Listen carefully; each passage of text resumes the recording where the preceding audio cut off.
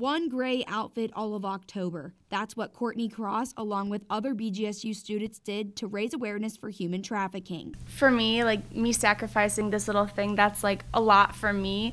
But when you realize what they go through on a daily basis, it kind of puts in perspective how um, we take a lot of our freedom for granted. They have no control over their life. As a matter of fact, that's one of the things that happens. Often, when a person is trafficked, they are taken out of their realm. They're taken out of their neighborhood. They're taken out of their community so that they become totally dependent on the trafficker. It's extremely common to hear that human trafficking is worse in Toledo, but this happens to be a myth. We are stopping it better, so it looks like we have statistics that make sound like trafficking is worse here. It is not. Is there trafficking in Northwest Ohio? Absolutely.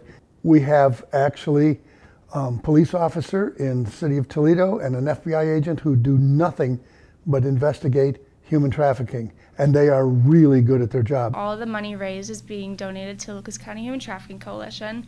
Um, it actually is going to their emergency fund for survivors. If there's no other services, this emergency fund is there that people can apply for help. If you suspect that someone is being trafficked, it's encouraged to call the Human Trafficking Hotline. Reporting for BG24 News, I'm Macey Austin.